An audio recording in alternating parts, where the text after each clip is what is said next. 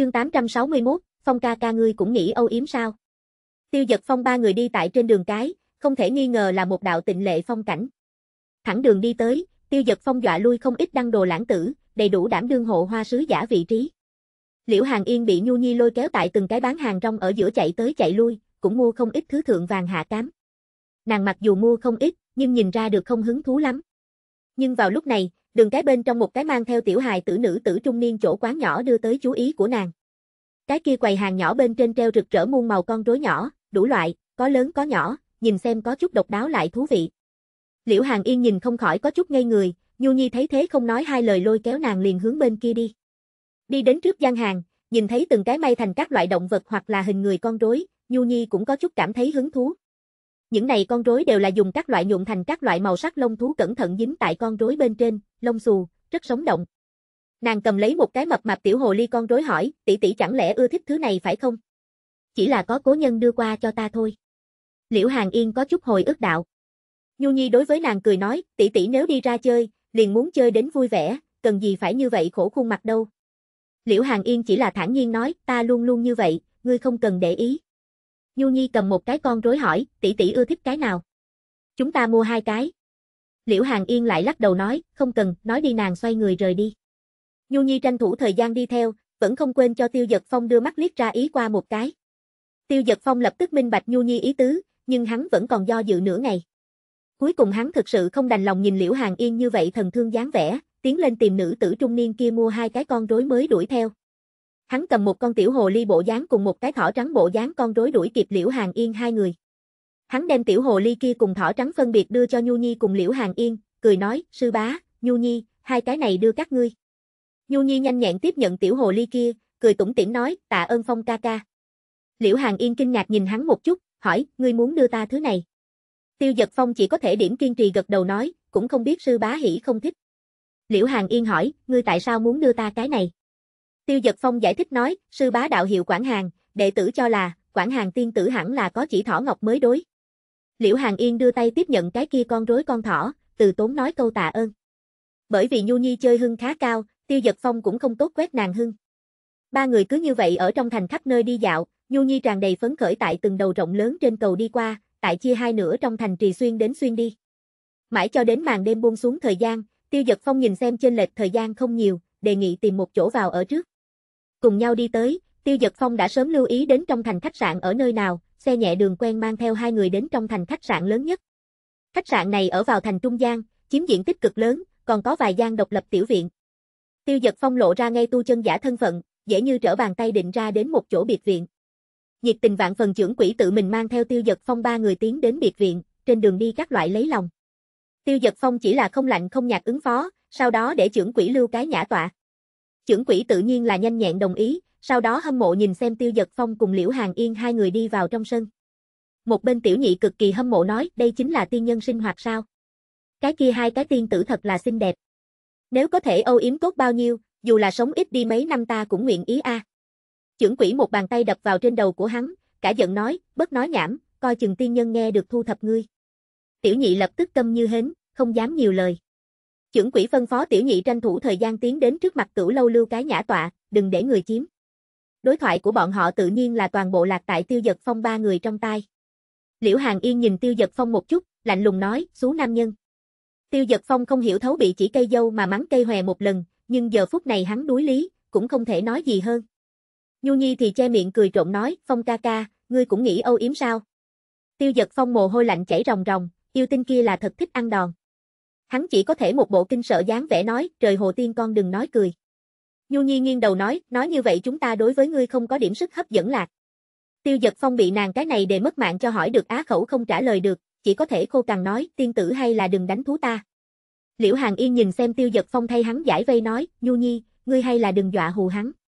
Nhu Nhi lúc này mới cười buông tha tiêu giật phong, bắt đầu tràn đầy phấn khởi chọn lựa gian phòng của mình đến. Trong biệt viện vừa vặn có tam gian phòng hiện lên xếp theo hình tam giác phân bố, một người một gian vừa vặn phù hợp. Liễu Hàng Yên ở tại ở giữa, Tiêu Dật Phong ở tại bên tay trái, Nhu Nhi ở tại tay phải của nàng bên cạnh gian phòng. Mấy người an bài tốt gian phòng, Tiêu Dật Phong đề nghị tiến đến ăn cơm. Liễu Hàng Yên lúc đầu không muốn ăn, nhưng không chịu nổi Nhu Nhi quấy rầy đòi hỏi liền đi theo ra ngoài. Ba người đi tới trưởng quỹ đặc biệt lưu tốt một gian tầm mắt cực kỳ khoáng đạt bao sương, mở cửa sổ ra vừa vặn có thể nhìn ra xa nửa tòa Tân Phong thành. Bọn hắn gần cửa sổ ngồi xuống về sau, nhìn ra ngoài phát hiện từ cái này vừa vặn có thể nhìn thấy đầu kia vượt ngang nửa tòa thành Thiên Thủy Hà. Trên sông tại ánh nắng chiều bên dưới, từng chiếc thương thuyền cập bờ, sóng nước lấp loáng, gió sông trận trận, khiến cho người tâm thần thanh thản. Tiêu Giật Phong thì trực tiếp đối mặt với cửa sổ, mà Nhu Nhi cùng Liễu Hàng Yên thì gần cửa sổ mà ngồi, nhìn về phương xa. Dưới lầu là một đầu náo nhiệt khu phố, chờ đợi trong lúc đó, Nhu Nhi nằm ngoài bên cửa sổ, nhìn xem mặt sông thuyền tới thuyền đi. Nàng cười nói, không nghĩ tới người này ở giữa là như vậy phùng hoa, thật sự là so trong tưởng tượng có ý tứ. Tiêu Giật Phong cười nói, chúng ta thân ở thế ngoại, ngẫu nhiên nhập thế, cho nên mới cảm thấy có ý tứ. Coi ngươi một ngày ba bữa ấm no đều gắn bó nơi này, chỉ sợ sẽ là hãm sâu trong đó không cách nào tự kiềm chế. Lại không một tia hứng thú. Nhu Nhi nghe vậy gật đầu nói, đúng a, tựa như người phàm tục cho là chúng ta là không dính khói lửa trần gian cao nhân đắc đạo. Nào biết trong mắt bọn họ sang phong ẩm lộ cao nhân đắc đạo sẽ vì tu đạo tài nguyên lục đục với nhau, tranh cái ngươi chết ta sống đâu. Nàng hai tay chống cầm, nhìn phía xa cảnh sắc có chút thất thần nói, bất quá, vẫn rất có thú a. Dưới lầu người đi ngang qua có đôi khi trong lúc lơ đãng ngẩng đầu một cái, hồn liền bị trên lầu tiên tử nhếch đi. Có người si mê sắc đẹp, không chớp mắt nhìn chằm chằm trên lầu hai vị tiên tử, thần sắc trong thoáng chốc trực tiếp đâm vào quán ven đường buôn bán bên trên, dẫn tới tiểu thương hùng hùng hổ hổ. Trên lầu Nhu Nhi bị chọc cho khanh khách cười không ngừng, nàng nụ cười này liền đưa tới càng nhiều tình huống nhỏ, trên đường người ngã ngựa đổ. Tiêu Giật Phong cực kỳ bất đắc dĩ, Nhu Nhi cũng không muốn gây nên càng nhiều rối loạn, hơi hướng bên trong ngồi một chút xíu. Nhưng cái này tự hồ hay là chậm chút, ba người tại độc lập trong rạp ngồi một hồi, bên ngoài liền truyền đến bạo động. Canh 2 Chương 862, đầu năm nay hoàng khố cũng bắt đầu tiến hóa sao? Trương công tử, Trương công tử, ngươi thật không thể đi vào, trưởng quỷ kia thanh âm truyền đến. Lăng, cái này Tân Phong Thành còn không có Trương thiếu gia không thể đi vào địa phương, một cái ác thanh ác khí thanh âm truyền đến. Rất nhanh cửa lớn liền bị đẩy ra, bốn người xông vào. Ở trong chính là một cái cẩm y áo bào trắng công tử ca, sau lưng còn có hai cái chó săn đi theo. Trưởng quỷ kia thì cả người toát mồ hôi lạnh đi theo ở phía sau, tình thế khó xử dáng vẻ. Tiêu giật phong thầm nghĩ xem ra là trong thành ghê gớm hoàng khố công tử, bằng không thì cũng không dám làm việc như vậy. Công tử ca kia ba người thấy được Liễu Hàng Yên cùng Nhu Nhi, lập tức nhìn không chuyển mắt, một bộ thèm nhỏ giải bộ dáng. Tiêu giật phong lạnh giọng hỏi, các hạ người nào? Vì sao mạnh mẽ xông tới chúng ta chỗ bao sương? Ở giữa công tử thu thập một chút, tao nhã lễ phép nói, tại hạ trương lương triết, gặp qua hai vị cô nương. Vừa mới tại hạ từ dưới lầu đi ngang qua, nhìn thấy hai vị cô nương kinh động như gặp thiên nhân, đặc biệt đi lên kết bạn một phen. Tiêu giật phong chỉ là lạnh lùng thốt, ngươi liền như vậy kết bạn. Ta đếm ba tiếng, lăng. Công tử kia còn chưa lên tiếng, phía sau hắn lũ chó săn liền mắng mắng liệt liệt nói, vô tri tiểu tử. Ngươi có biết trước người ngươi vị công tử này là ai? Dám như vậy cùng hắn nói chuyện. Tiêu giật phong lạnh giọng nói ra, ta quản ngươi là ai, còn không cút nhanh lên, tự gánh lấy hậu quả. Công tử kia sắc mặt cũng lạnh lùng xuống tới, trầm giọng nói, bản công tử chỉ là muốn cùng hai vị cô nương kết giao bằng hữu. Vị công tử này là trên con đường nào, làm gì như vậy hùng hổ dọa người đâu. Cho mấy phần chút tình mọn không tốt sao? Tiêu giật phong cười lạnh một tiếng nói, để cho ta cho ngươi chút tình mọn, ngươi còn chưa đủ tư cách. Gặp người này hay là không biết cốt xấu, tay hắn vừa nhất, sổ đạo kiếm quan tại trên tay hắn xoay tròn không ngừng. Những kiếm quan kia như đồng du ngư đồng dạng tại ba người kia trên cổ lượng quanh một vòng mới lại quay lại đến, đem bọn hắn dọa đến mồ hôi lạnh chảy ròng ròng. Tiêu giật phong lạnh giọng mở miệng nói, hiện tại, có thể lăn sao? Công tử kia coi như biết hàng, cái kia hai cái chó săn thì dọa đến tè ra quần, từng cái miệng hô tiên nhân tha mạng. Tấm kia công tử sắc mặt khó coi hành lễ một cái nói, không nghĩ tới là tiên sư đại nhân, tại hạ thất lễ. Ta trên phủ thành chủ cũng có tiên sư, không bằng các tiên sư tiến đến trong phủ ta cùng một chỗ luận đạo như thế nào. Tiêu giật phong không nghĩ tới gia hỏa này không biết tốt xấu như thế, hơi vung tay trực tiếp đem bọn hắn ba người tung bay ra ngoài, nện ở trên hành lang. Hắn lạnh như băng nói, thiếu cùng bản công tử lôi kéo làm quen, ngươi chút tiểu tâm tư kia hay là nhận lấy đi. Luận hoàng khố, bản công tử là ngươi tiền bối. Lại để cho ta gặp được ngươi xuất hiện, ta cũng sẽ không khách khí. Công tử kia sắc mặt cực kỳ khó coi, nhưng cũng không nói hai lời, bò dậy làm sau thi lễ vội vàng rời đi. Chưởng quỷ đầu đầy là mồ hôi đứng tại bao xương bên trong, liên tục xin lỗi nói, công tử bất giận. Tấm kia công tử là thành chủ công tử, nhỏ thực sự ngăn không được bọn hắn, mong rằng ba vị thứ tội. Tiêu giật phong thờ ơ vất vất tay nói, ngươi đi xuống trước đi.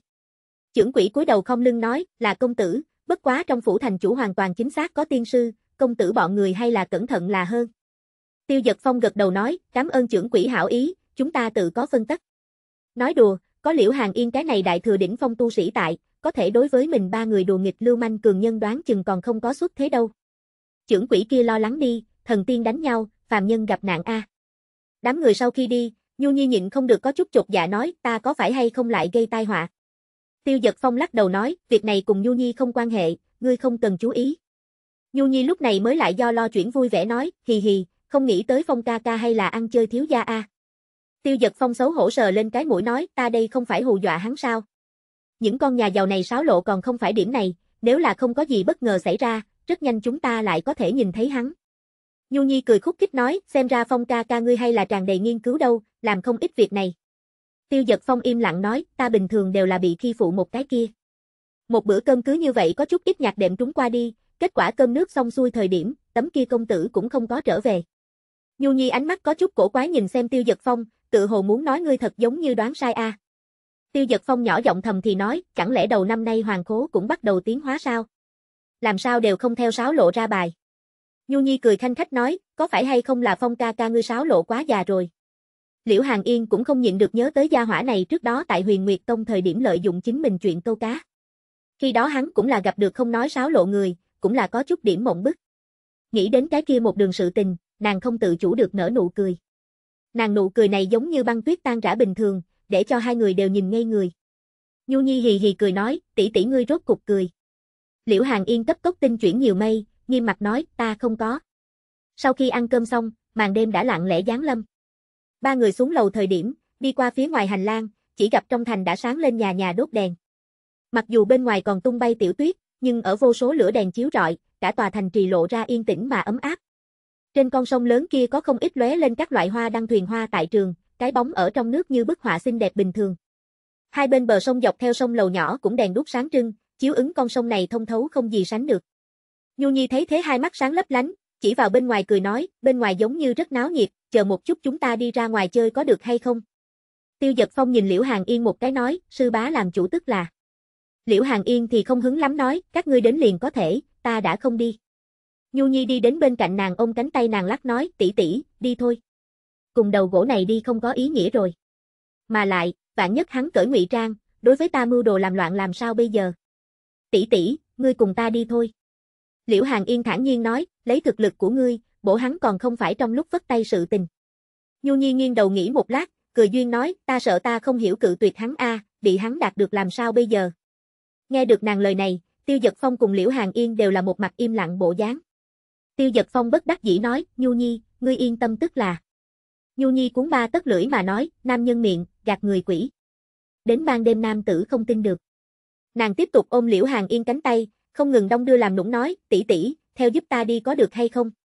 Liễu Hàng Yên nhìn xem chính mình hãm sâu vực sâu, bị ngọn núi bao khỏa cánh tay, im lặng nói, ngươi chiêu này đối với ta không dùng, ta sẽ không đi, ngươi đừng có hy vọng đi. Nhu Nhi lã chả trực khóc nói, đến lúc đó vạn nhất ta gặp người nào đó độc thủ, nhất định đều là tỷ tỷ nguyên nhân. Phải biết, Giang Sơn dễ đổi, bản tính khó dời. Có nhiều thứ là sẽ không theo ký ức mà biến mất. Canh 3 Chương 863, bản tiểu hồ ly thật thông minh. Liễu Hàng Yên nghe vậy một cái giật mình, lăng liệt ánh mắt nhìn xem Tiêu Giật Phong. Nàng không thể không thừa nhận, Nhu Nhi nói đúng, tên sắc phôi này dù là quên đi ký ức, trong xương cốt khả năng hay là sắc phôi. Chính mình làm sao lại bởi vì hắn gần nhất cái này nho nhã lễ độ dáng vẻ mà bị hắn lừa bịp. Nhu Nhi đơn độc cùng hắn tại một khối, không chừng vẫn thật là ẩm ờ, sói vào miệng cọp. Liễu Hàng Yên suy đi nghĩ lại, gật đầu nói, tốt, ta đi theo ngươi chính là, ngươi đừng rung. Nhu Nhi nghe vậy cao hứng bừng bừng ôm nàng hôn một cái nói, tỷ tỷ, ngươi thật tốt. Liễu Hàng Yên ghét bỏ xoa xoa mặt nói, bóng nhảy, ngươi đừng rời ta gần như vậy, đi ra điểm. Không thôi, không thôi. Nhu Nhi dùng sức kề cận Liễu Hàng Yên, không ngừng tại trên mặt nàng cọ lấy. Bản tiểu hồ ly thật thông minh, thừa dịp quản hàng tỷ tỷ tâm tình không tốt thời điểm cùng với nàng tạo mối quan hệ, sau này làm nhỏ liền có thể không cần bị khinh bỉ. Dù là kia cái gì lãnh nguyệt lãnh tinh về sau muốn vào cửa, cái này còn không phải phải xem quản hàng sắc mặt. Hì hì, chính mình thật đúng là cái thông minh tiểu hồ ly. Hiện tại mình đã đã thông tô diệu tình một nhà con đường, lại có quản hàng tỷ tỷ bảo bọc, đường này xem như đi chiều rộng. Ai, đầu năm nay, muốn im lặng làm cái bị sủng ái tiểu hồ ly cũng không dễ dàng a. Liễu Hàng Yên có chút sinh không thể luyến đất bị nàng ôm không ngừng cọ qua cọ lại, cố gắng áp chế đem nàng đánh bay ý nghĩ. Nàng thực sự không quen loại này cùng tiêu giật phong bên ngoài người tiếp xúc thân mật. Bất quá Nhu Nhi là nữ tử, còn có thể miễn cưỡng tiếp nhận. Tiêu Giật Phong nhìn trước mắt cái này cực kỳ đẹp mắt hình ảnh, không khỏi có chút thở dài một hơi. Nhu Nhi nha đầu này vẫn có chút hữu dụng thôi, có nàng tại sung làm điều hòa tề, hắn đổ không có như vậy lúng túng. Nhưng vào lúc này, hắn trông thấy Nhu Nhi lặng lẽ hướng hắn nháy nháy mắt. Liên tưởng đến nàng trước đó cử động, cái này khiến hắn không khỏi hoài nghi Nhu Nhi có phải hay không biết mình khôi phục ký ức. Tiểu yêu tinh này nhìn xem ngây ngốc ngơ ngác, kỳ thực rất thông minh a. À. Chẳng lẽ mình thật bị khám phá? Nhu Nhi đạt được Liễu Hàng Yên đồng ý, một mặt hưng phấn nói, vậy ta trở về cách ăn mặc một phen, thật xinh đẹp ra ngoài. Liễu Hàng Yên im lặng nói, ngươi dạng này còn cần lại cách ăn mặc một phen sao?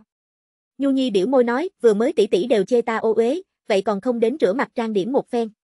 Nàng nhìn về phía Tiêu Dật Phong hỏi, Phong ca ca, ngươi sẽ chờ chúng ta đi. Tiêu Dật Phong nào có nói khác nhau đạo lý, cười nói, tự nhiên là biết. Nhu Nhi ôm Liễu Hàng Yên nói, cái kia sau nửa canh giờ, ngươi lại tìm chúng ta đi. Nói xong nàng liền kéo lấy không gì sánh được bất đắc dĩ Liễu Hàng Yên đi. Tiêu giật Phong nhìn xem đầy trời phong tuyết có giảm nhỏ dấu hiệu, không khỏi lộ ra một chút ý cười. Vì để tránh cho có bóng người vang nhóm người mình hào hứng, hắn hay là quyết định thừa dịp trong khoảng thời gian này đi vĩnh viễn trừ hậu hoạn tốt đi một chút.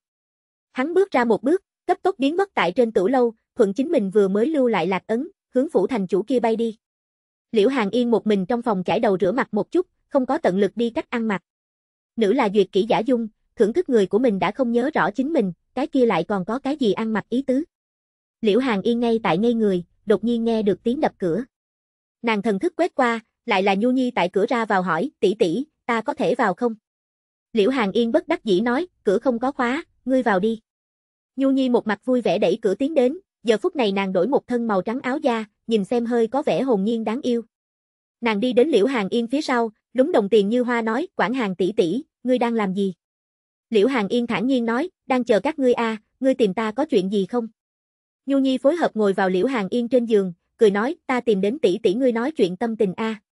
Quản hàng tỷ tỷ, ngươi tại sao phải một mực như vậy buồn khổ đâu? Liễu Hàng Yên nhìn xem Nhu Nhi hỏi, Nhu Nhi, ngươi liền không thương tâm sao? Hắn đem ngươi quên hết rồi. Nhu Nhi thở dài nói, thương tâm thì phải làm thế nào đây, thương tâm cũng là một ngày, vui vẻ cũng là một ngày. Nếu hắn quên chúng ta sự tình đã không cách nào vãn hồi, vậy còn không như lại bắt đầu lại từ đầu đâu. Kỳ thật nàng nào có chính mình nói như vậy rộng đến, nếu là tiêu giật phong thật quên nàng, đoán chừng đã sớm khóc chích chích. Bất quá bởi vì nàng đáp ứng thất sát không có khả năng nói cho Liễu Hàng Yên nàng gặp qua thất sát tồn tại, cho nên nàng cũng chỉ có thể viện một cái chính mình cũng không tin lý do. Liễu Hàng Yên hơi thương cảm nói, hắn sắp thành hôn, ngươi biết không? Nhu Nhi lúc này mới đột nhiên minh bạch Liễu Hàng Yên chân chính thần thương nguyên nhân, nàng gật đầu nói, ta biết. Liễu Hàng Yên hỏi, vậy ngươi không để ý sao? Nhu Nhi ngẩng đầu suy nghĩ một chút nói, để ý a, nhưng để ý cũng vô dụng. Ta vốn là chỉ muốn cho hắn làm cái nhỏ, không muốn cùng ai tranh. Liễu Hàng Yên nhịn không được cười lên, cũng là, cô gái nhỏ này một mực không có gì truy cầu, ngược lại là mình cả nghĩ quá rồi. Nàng đắng chắc cười nói, vì cái gì ngươi có thể đem chỗ yêu người cùng người chia sẻ, ta làm không được. Nhu Nhi cười nói, nhân sinh khổ đoạn, ai kêu ta thích chính là hắn đâu. Có thể đi cùng với hắn là có thể, sự tình khác ta không muốn suy nghĩ nhiều, trong lòng của hắn có ta là được. Liễu Hàng Yên khó có thể tưởng tượng đây là một loại như thế nào cảm giác, chỉ có thể thở dài, thật hâm mộ ngươi có thể như vậy rộng đến. Nhu Nhi đề nghị, tỷ tỷ ngươi cũng có thể a, ngươi nếu là không cam tâm, coi như hắn quên đi. Ngươi để hắn lại yêu ngươi không được sao? Lấy tỷ tỷ dung nhan, sợ không phải ngoắt ngoắt tay, hắn liền hấp tấp chạy tới. Liễu Hàng Yên không nghĩ tới nàng thế mà đánh chính là loại chủ ý này, nhịn không được cười lên nói, ta làm không được, không nói trước ta không cách nào cùng với những cái khác nữ tử chia sẻ hắn. Nàng thương cảm địa đạo, mà lại, hắn muốn cưới thế nhưng là đệ tử của ta. Thân là người trong chính đạo, hắn đã phong kính chúng ta tất cả khả năng. Nhu Nhi nghe vậy cũng không thể nói gì hơn, nàng cũng biết những này trong chính đạo từng cái từng cái quy quy. Loại chuyện này truyền đi, Vấn Thiên Tông chỉ sợ là cái thứ nhất nhảy dựng lên muốn phản đối, bọn hắn càng là muốn biến thành người trong thiên hạ trò cười. Gặp Liễu Hàng Yên tinh thần chán nản dáng vẻ, Nhu Nhi giữ chặt nàng Nhu đề khuyên nhủ, tỷ tỷ, ngươi không cần một mình khó qua. Nhìn xem ngươi bộ dáng này, đừng nói nam tử, ta một nữ tử đều tan nát cõi lòng. Ngươi nếu là không vui vẻ, vậy liền đi khi dễ phong ca ca. Dù sao hắn hiện tại đối với ngươi kính sợ có thừa, ngươi muốn làm sao khi dễ liền làm sao khi dễ, cần gì phải chính mình mặt buồn rười rượi, để hắn phong lưu khoái hoạt đâu. Liễu Hàng Yên nghe vậy nhãn tình sáng lên, hỏi ngược lại, a, ngươi bỏ được sao? Nhu Nhi khóe miệng hơi vểnh, Nghĩa Phẫn Điền ưng nói, có cái gì không bỏ được, tỷ tỷ, chúng ta đứng tại cùng một trận tuyến bên trên. Liễu Hàng Yên cười nói, ngươi nói có đạo lý, đã như vậy, xem ta như thế nào giáo huấn hắn. Nhu Nhi e sợ thiên hạ bất loạn, nắm chặt nắm tay nhỏ gật đầu nói, đối với, tỷ tỷ ngươi cùng ta cùng một trận tuyến. Chúng ta liền đoạn đường này liền khi dễ hắn đi qua, cam đoan hắn giận mà không dám nói gì. Để cái này đàn ông phụ lòng trả giá đắt. Canh 4 Chương 864, Phong ca ca ngươi cũng không cứu ta. Nhu Nhi nói liền chạy tới Liễu Hàng Yên trước mặt, cao hứng bừng bừng nói, tỷ tỷ, ngươi ngồi đừng động. Ta cho ngươi cách ăn mặc một phen, đổi lại một thân quần áo đẹp, cam đoan mê cho hắn thần hồn điên đảo. Liễu Hàng Yên kinh ngạc nói, ta để hắn thần hồn điên đảo làm cái gì? Hắn quên ta, ta cầu còn không được đâu. Mà lại chúng ta không phải muốn chỉnh hắn sao? Vì cái gì còn muốn trang điểm? Nhu Nhi trong lòng mỉm cười, ngươi nếu là thật sự cầu còn không được, há lại sẽ giống như bây giờ tinh thần chán nản đâu. Bất quá ngoài miệng tự nhiên không có khả năng nói như vậy, nàng chững chạc đàng hoàng lừa dối nói, đây là vì để đối thủ buông lỏng cảnh giác.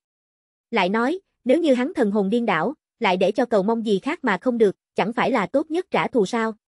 Liễu Hàng Yên ngẩn ngơ, tìm không ra lời gì đến phản bác, cũng chỉ đành buông xuôi bỏ mặt. Có lẽ, trong nội tâm nàng cũng có một tia mặt khác chờ đợi, chỉ là chính mình không nguyện ý thừa nhận thôi. Sau nửa canh giờ, Tiêu Dật Phong từ phủ thành chủ trở về, tấm kia công tử lúc đó đang cùng hắn chỗ ỷ lại tiên sư cáo trạng. Kết quả Tiêu Dật Phong từ trên trời giáng xuống, nhẹ nhàng tản mắt ra chính mình xuất khiếu cảnh tu vi, cái kia bất quá kim đan cảnh tu sĩ dọa đến tè ra quần. Tiêu Dật Phong dạy dỗ hai người một trận, cảnh cáo nó không được giận lây sang bất luận kẻ nào. Kim đan kia tu sĩ bị dọa đến tại chỗ phát huyết thệ, tuyệt không trả thù bất luận kẻ nào, e sợ cho Tiêu Dật Phong thuận tay đem hắn diệt. Tiêu Dật Phong gặp hắn có chút thức thời, cũng liền thả hắn một ngựa, nhẹ lướt đi. Hắn trở lại trong khách sạn, xem chừng chênh lệch thời gian không nhiều đến, lại phát hiện Nhu Nhi gian phòng không có lửa đèn. Hắn cũng chỉ có thể hướng Liễu Hàng Yên gian phòng đi đến, tại cửa ra vào cung kính hỏi, sư bá, có thể có nhìn thấy trời hồ tiên con. Nhu Nhi thanh âm từ bên trong truyền đến, ta ở chỗ này đây, chờ thêm chút nữa, rất nhanh liền có thể. Tỷ tỷ, ngươi chớ lộn xộn, ngoan ngoãn mặc được cái này. Muốn chuẩn bị ra cửa. Sau đó bên trong truyền đến Liễu Hàng Yên thanh âm, không có khả năng, ngươi mau đưa tóc của ta sách về đi. Nhu Nhi cười hì hì nói, không cần thôi, ta có thể viện thật lâu, phối hợp cái này một thân liền thật đẹp mắt. Liễu Hàng Yên bất đắc dĩ nói, ta cũng không phải tiểu hài tử, sao có thể làm như vậy giả dạng. Để cho người ta nhìn thấy chẳng phải là chết cười. Nhu Nhi lại hoàn toàn thất vọng, tỷ tỷ đều đã biến thành bộ dáng như vậy, cần gì phải câu nệ tại quá khứ giả dạng đâu. Dù sao nơi này cũng không ai nhận biết ngươi, tỷ tỷ hiện tại cái bộ dáng này, đi ra ngoài ai nhận được tỷ tỷ đâu. Liễu Hàng Yên nghe vậy trầm tư một lát, tại Nhu Nhi khóc lóc ông sòm giả ngây thơ thế công bên dưới, hay là không lay chuyển được nàng, chỉ có thể ngoan ngoãn đi thay quần áo. Cái này khiến Tiêu Giật Phong trong lòng không gì sánh được hiếu kỳ, đến cùng là thế nào cách ăn mặc có thể làm cho Liễu Hàng Yên như vậy kháng cự. Kết quả một lát sau, Nhu Nhi tiếng thốt kinh ngạc truyền đến qua, tỷ tỷ, trên người ngươi làm sao có cái lam ấn sen nhớ. Sau đó, bên trong truyền đến Liễu Hàng Yên cực lực áp chế phẫn nộ, băng hàng thấu xương thanh âm. Nhu Nhi, ngươi đủ, ta nhịn ngươi rất lâu. Tiêu Giật Phong chỉ nghe được Nhu Nhi kinh hô một tiếng, liền không còn bất luận cái gì tiếng vang. Tiêu Giật Phong không khỏi mồ hôi lạnh chảy ròng ròng, nhưng cũng không dám rảo bước tiến lên Liễu Hàng Yên cửa phòng nửa bước. Hắn sợ chính mình sẽ bước Nhu Nhi theo gót, hiện tại chỉ có thể cầu nguyện nàng tự cầu phúc. Nha đầu này cũng quá lớn mật, thế mà tại Liễu Hàng Yên thay quần áo thời điểm nhìn lén nàng, đây không phải muốn chết sao? Sau một lúc lâu, Liễu Hàng Yên cửa phòng ba một cái con mở ra, một cái thân ảnh màu trắng bị ném đi ra. Tiêu Giật Phong vội vàng tiếp được, lại phát hiện là bị đông tại trong hàng băng nhu nhi, chỉ có con mắt còn tại quay tròn loạn chuyển. Cửa phòng rất nhanh lại đùng đóng lại, Tiêu Giật Phong mắt nhìn mũi, mũi nhìn tâm, một cử động nhỏ cũng không dám, e sợ cho bước nàng theo gót. Qua một hồi lâu, bên cạnh băng cứng lốc bốt mà vang lên lấy. Nhu Nhi yêu tinh kia khóc khóc đề đề từ trong hàng băng phá băng mà ra, đứng tại một chỗ vụn băng bên trong. Nàng ủy khuất ba ba nhìn xem Tiêu Giật Phong nói, Phong ca ca, ngươi cũng không cứu ta. Tiêu Giật Phong không khỏi nghĩ đến, nếu để cho sư nương trông thấy dạng này Nhu Nhi, trong lòng hình tượng nên có bao nhiêu tiêu tan. Hắn bất đắc dĩ nói, Nhu Nhi, không phải ta không cứu ngươi, thực lực của ta không đủ a. Nhu Nhi kiều hừ một tiếng, tức giận nói, gạt người. Ngươi thấy chết không cứu, đáng giận. Nàng vỗ vỗ trên người vụn băng nói, tỷ tỷ, ngươi quá phận, người ta giúp ngươi ăn mặc thật xinh đẹp. Ngươi lại đem người ta làm cho trang đều hóa, lấy oán trả ơn, quá hại người nhà tâm rồi. Tiêu giật phong thầm nghĩ liễu hàng yên không có trực tiếp giết chết ngươi, tính để tình, đoán chừng không thấy được bao nhiêu. Hắn đoán được thật đúng, Nhu Nhi vừa mới dò xét kích cỡ đi qua, liền bị phát hiện. Lúc đó Liễu Hàng Yên mới vừa vặn cởi cái bả vai, bộ ngực sữa hơi lộ ra, không phải vậy chỉ sợ cũng không phải băng một hồi có thể giải quyết sự tình. Nhu Nhi hoàn toàn không sợ chết chạy tới gõ cửa nói, tỷ tỷ, có thể sao? Lại không xuất phát cũng đã muộn. Cửa phòng lần nữa mở ra, Liễu Hàng Yên mặt lạnh lấy đứng ở trước cửa, đằng đằng sát khí nói, Nhu Nhi. Nhu Nhi lập tức cổ co rụt lại, vĩ khuất ba ba nói, tỷ tỷ, ta biết sai. Lần sau không dám. Liễu Hàng Yên nhìn nàng giờ phút này trên thân còn mang theo vụn băng, mặt đánh mặt mắng, vô cùng đáng thương dáng vẻ, cũng không đành lòng lại cùng với nàng so đo. Tiêu Dật Phong không khỏi thầm nghĩ hí tinh này thật đúng là có thể diễn, chính mình liền nói nàng đặc biệt lưu lại điểm vụn băng làm gì chứ, nguyên lai là giả bộ đáng thương.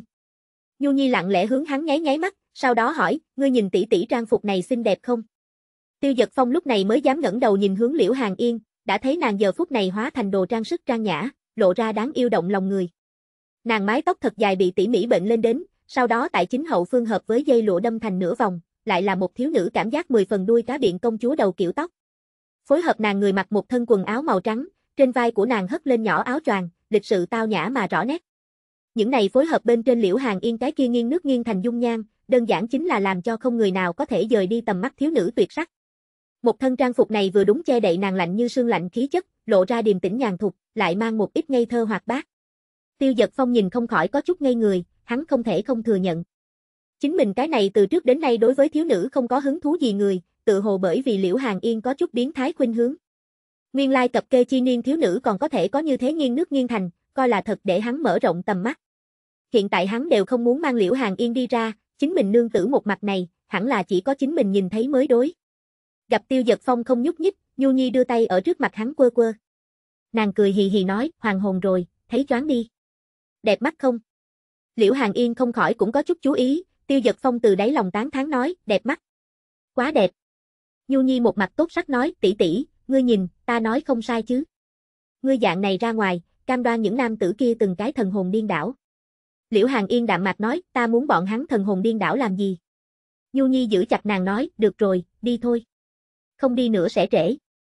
Chương 865, hai cái này cô nải nải tuyệt đối là muốn chỉnh mình. Tiêu Dật Phong đi theo hai người đi ra ngoài, nhìn xem phía trước cái kia dịu dàng động lòng người, như là thanh xuân thiếu nữ bình thường Liễu Hàng Yên, hắn có chút hoảng hốt. Chính mình lần đầu gặp Liễu Hàng Yên thời điểm, nàng cũng đã là cao cao tại thượng quản hàng tiên tử, chính mình bỏ qua nàng nửa đời trước, đây coi như là khác loại bù lại sao. Nhu Nhi nhìn xem tiêu giật phong cái kia ngây người dáng vẻ, trở lại hướng hắn cười nói, hộ hoa sứ giả còn không mau đuổi theo. Tiêu giật phong vội vàng lên tiếng, đi đến hai người bên cạnh rớt lại phía sau nửa bước. Nhu Nhi trừng mắt liếc hắn một cái nói, ngốc tử, ngươi đây là làm hộ vệ sao? Như vậy câu nệ làm gì? Tiêu giật phong quét Liễu Hàng Yên một chút, Liễu Hàng Yên thản nhiên nói, nếu là đi ra chơi, liền không cần để ý những này. Tiêu giật phong lập tức biết nghe lời phải đi đến bên cạnh nàng, cùng hai người sánh vai mà đi, Liễu Hàng Yên đi ở trong đó. Trên đường người đi đường không có ban ngày nhiều như vậy, phần lớn người đều hướng bờ sông đi, tiêu giật phong mấy người cũng nước chảy bèo trôi. Nhu Nhi cái kia tuyệt sắc dung nhan rất nhanh liền dẫn tới không ít người chú mục, nhưng nàng rất nhanh liền phát hiện không thích hợp. Làm sao bên cạnh Liễu Hàng Yên tự hồ bị người chỗ coi nhẹ bình thường, ánh mắt tất cả đều là lưu tại chính mình cùng tiêu giật phong trên người. Nàng lại thế nào tự tin cũng không có như vậy mù quáng, chính mình còn có thể so bên cạnh vị này càng đáng chú ý. Nàng không khỏi kinh ngạc hỏi, tỷ tỷ, vậy cái này là dùng thuật pháp gì sao? Liễu Hàng Yên giải thích nói, bất nhập lưu thủ đoạn nhỏ thôi, ngươi muốn học ta dạy cho ngươi. Nhu Nhi lập tức gà con mổ thóc một dạng gật đầu nói, ta muốn học. Ánh mắt của những người này chán ghét chết. Liễu Hàng Yên nghe vậy im lặng nói, ta còn tưởng rằng ngươi thích thú đâu. Nhu Nhi cười nói, một mực bị nhìn chằm chằm cũng rất phiền thôi, đặc biệt là có chút người buồn nôn, ánh mắt kia quá hạ lưu. Liễu Hàng Yên nhìn một chút Tiêu Dật Phong hỏi, tỷ như Tiêu Sư Điệt. Tiêu Dật Phong. Nhu Nhi cười khanh khách nói, đối với. Liễu Hàng Yên truyền âm nói cho Nhu Nhi như khói quyết vận hành công pháp, rất nhanh Nhu Nhi liền thuần thục nắm giữ. Nàng cũng học Liễu Hàng Yên bình thường thi triển như khói quyết đi trên đường, quả nhiên trên người ánh mắt liền thiếu đi không ít. Cái này khiến Tiêu giật Phong thở một hơi dài nhẹ nhõm, dù sao mang theo hai cái mỹ nhân tuyệt sắc áp lực vẫn có chút lớn. Mà lại Liễu Hàng Yên ít như vậy nữ bộ dáng, hay là chính mình một mình thưởng thức liền tốt. Ba người đi đến bên cầu, quả nhiên dọc theo sông đèn đuốc sáng choang, trên cầu khắp nơi là rao hàng tiểu thương, trình độ náo nhiệt không giảm ban ngày. Nơi đây lấy các loại quà vặt làm chủ, các loại sâu nướng cùng ướp lạnh nước chè, buôn bán mặt nạ gió êm dịu xe chờ chút cũng không phải trường hợp cá biệt. Nhu Nhi trông thấy trên đường rất nhiều người mang theo mặt nạ, cũng giữ chặt hai người hướng bán mặt nạ bán hàng trong nơi đó, một người mua một cái mặt nạ. Những mặt nạ này đều là nửa gương mặt mặt nạ, bên cạnh còn có bút mực, còn có thể chính mình hoa văn màu một chút. Tại Nhu Nhi mãnh liệt theo đề nghị, Liễu Hàng Yên tuyển một cái mặt nạ thỏ, Nhu Nhi chính mình thì chọn lấy cái mặt nạ hồ ly. Tiêu Dật Phong vốn định chọn cái đầu rồng mặt nạ đeo đeo, kết quả Liễu Hàng Yên Thiên Thiên Ngọc chỉ một chỉ nói, Tiêu sư điệp, ngươi mang cái này. Tiêu Giật Phong tập trung nhìn vào, đó là một cái đầu heo mặt nạ, lập tức có chút im lặng nói, cái này. Liễu Hàng Yên đem mặt nạ thỏ chuyển tới một bên nghiêm túc nói, đối với, cái này rất thích hợp ngươi. Nhu Nhi cũng làm như có thật nói, không sai không sai. Rất thích hợp ngươi, đầu heo. Tiêu Giật Phong trở ngại cường quyền, cũng chỉ có thể vẽ mặt cầu xin mua cái kia mặt nạ đầu heo. Nhu Nhi đoạt lấy mặt nạ đi đến một bên hoa văn màu cái kia cầm bút lên, cười nói, Phong ca ca, ta cho ngươi thêm hai bút. Nàng nhanh chóng tại mặt nạ kia trên gương mặt vẽ lên hai cái hồng hồng đỏ ửng, nhìn xem có chút buồn cười. Tỷ tỷ, ngươi có muốn hay không cũng cho hắn thêm điểm liệu. Tiêu Giật Phong vốn cho rằng Liễu Hàng Yên sẽ không động thủ, ai biết nàng đưa tay cầm qua bút kia, tại đầu heo bên trên viết cái thật to, sắc chữ. Nhu Nhi khanh khách cười không ngừng, ý đồ xấu đề nghị, chúng ta đều đeo lên mặt nạ đi. Nàng nhanh chóng đeo lên tiểu hồ ly mặt nạ, sau đó một mặt chờ mong nhìn xem Tiêu Giật Phong. Liễu Hàng Yên yên lặng mang lên trên mặt nạ thỏ, hai người đều ánh mắt thăm thẳm nhìn xem Tiêu Giật Phong. Tiêu Giật Phong chỉ có thể kiên trì đem cái này viết chữ sắc mặt nạ đầu heo đội ở trên đầu. Nhu Nhi dùng sức nín cười, nghiêm túc nói, rất thích hợp đâu. Ba người riêng phần mình mang theo kỳ quái mặt nạ đi về phía trước, nhưng bên cạnh Liễu Hàng Yên hai người đều đã vận dụng như khói quyết, cho nên tuyệt không làm người khác chú ý.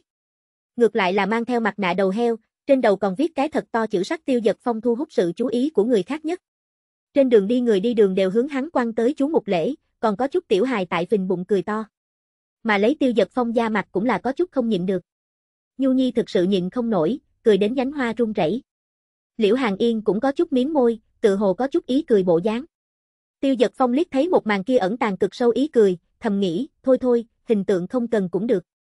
Có thể chiếm được mỹ nhân cười một tiếng hết thảy đều đáng giá. Huống chi, trên mặt mình còn mang theo mặt nạ, mà lại cái này tha hương nơi đất khách quê người ai nhận biết ai đây. Hắn ngược lại lập tức ngẩng đầu ưỡn ngực đứng lên, để Nhu Nhi đều có chút trợn mắt hốc mồm. Phong ca ca quả nhiên là người phi thường a, liền da mặt này liền không người có thể so sánh. Liễu Hàng Yên thấy thế, hừ lạnh một tiếng. Nàng nâng lên thiên thiên ngọc chỉ chỉ lấy xa xa một cái khiên kẹo hồ lô tiểu thương phiến nói ta muốn ăn cái kia. Tiêu giật phong sửng sốt một chút, có chút quá tải đến. Liễu Hàng Yên lặp lại một lần, âm thanh lạnh lùng nói, ta muốn ăn cái kia. Hiểu. Tiêu giật phong liền vội vàng gật đầu như giả tỏi, nói, mê mê hiểu. Hắn nói chuyện ở giữa, cấp tốc quay người hướng trong đám người cái kia bán kẹo hồ lô bán hàng trong đuổi theo. Nhưng này bán hàng trong tại người nhiều nhất địa phương, tiêu giật phong chỉ có thể một đường vượt mọi trong gai chen đi qua. Bởi vì nơi đó đại đa số là một ít hài tử cùng một nhà ba người, tiêu giật phong còn bị đánh không ít bạch nhãn. Chờ hắn thiên tân vạn khổ mang theo ba xuyên kẹo hồ lô giết trở lại đến, liễu hàng yên lại chỉ là cắn một cái. Nàng nhíu mày, bất mãn nói, quá ngọt, không thích. Nàng chỉ vào nơi xa một đống người vây quanh hàng thịt nướng, thản nhiên nói, ta muốn ăn cái kia. Nhu Nhi cũng e sợ thiên hạ bất loạn, chỉ vào một đứa bé cầm trong chóng nói, Phong ca ca, ta cũng muốn chơi trong chóng. Tiêu giật Phong mặc dù nghi hoặc hai nữ nhân này đến cùng thế nào, nhưng vẫn là nghe lời ngoan ngoãn đi trung đội trưởng đội đi mua, lại tốn sức chính trâu hai hổ tìm được bán trong chóng. Chờ hắn thật vất vả cầm đồ vật lúc đi ra, Liễu Hàng Yên cùng Nhu Nhi đã chạy đến trước mặt. Nhu Nhi dùng sức hướng hắn quát gọi hắn tới, bởi vì các nàng hai cái lại muốn ăn một kiểu khác đồ vật. Tiêu giật phong cái trán ứa ra mồ hôi lạnh, hai cái này cô nãi nãi tuyệt đối là muốn chỉnh mình a. Nhưng không có cách nào, tình hình khó khăn, hắn cũng chỉ có thể thành thành thật thật chiếu vào các nàng phân phó chạy khắp nơi. Tồi tệ nhất là các nàng thế mà còn không cho hắn dùng đạo pháp các loại gian lận, nói đôi này phàm nhân không công bằng. Tiêu giật phong cũng chỉ có thể chạy chân gãy, mang theo cái mặt nạ đầu heo chạy khắp nơi, bị chơi đùa quá sức. Hắn mệt ngã là không mệt, chỉ là hảo hảo mà cùng mỹ nhân đi ra cùng dạo, làm sao lại biến thành chính mình chân chạy nữa nha. Bất quá nhìn xem Nhu Nhi lúng đồng tiền như hoa dáng vẻ, Liễu Hàng Yên tự hồ tâm tình cũng tốt hơn không ít, hắn lại vui ở trong đó. Canh 2 Chương 866, Hoa Thuyền Các loại tiêu giật phong thiên tân vạn khổ đem hai vị cô nãi nãi muốn quà vặt đưa đến các nàng trên tay, đang nghĩ ngợi chính mình có thể nghỉ ngơi một chút đi. Kết quả phía trước xuất hiện một nhà cửa hàng, bên trong không thiếu nữ tử ngay tại cái kia gạt ra mua đồ. Từ trong miệng các nàng hô hào lời nói, tiêu giật phong biết được đó là thượng đẳng nhất son phấn cửa hàng, mang đến kiểu mới nhất son phấn bột nước. Nhìn xem một đám kia điên cùng nữ tử cùng phụ nữ trung niên, tiêu giật phong không khỏi mồ hôi lạnh ứa ra, thầm nghĩ, không thể nào. Kết quả hắn sợ cái gì liền đến cái gì, liễu hàng yên đột nhiên chỉ vào nhà kia son phấn cửa hàng nói, ta muốn cái kia. Nhu Nhi cũng con mắt tỏa sáng nói, phong ca ca, cho ta cũng tới một phần. Nhân gian kiểu mới nhất son phấn bột nước, ta còn không có dùng qua đâu. Tiêu giật phong một mặt bối rối địa đạo, ở trong đó đều là chút nữ tử A. Liễu Hàng Yên thản nhiên nói, ngươi không phải thích nhất nữ tử sao? Ngươi liền nói ngươi có đi hay không đi. Tiêu giật phong nhìn xem những cái kia điên cuồng nữ tử, một mặt bi tráng nói, ta đi. Hắn mang theo mặt nạ đầu heo hùng dũng oai vệ khí phách hiên ngang hướng cửa hàng đi đến, kết quả đến cái kia nhìn xem đám kia điên cùng nữ tử, hắn liền trợn tròn mắt. Tiêu Giật Phong ngay cả chen vào cơ hội đều không có, chỉ có thể ở bên ngoài đi dạo, lo lắng suông. Mắt thấy cái kia kiểu mới nhất son phấn bột nước càng ngày càng ít, hắn biết không thể đợi thêm nữa. Hắn ý đồ chen vào, kết quả không có gì bất ngờ xảy ra đất bị xem như muốn nhân cơ hội chiếm tiện nghi đăng đồ lãng tử đẩy đi ra.